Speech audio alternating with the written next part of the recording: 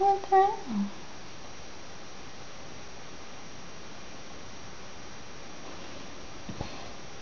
I guess you showed me.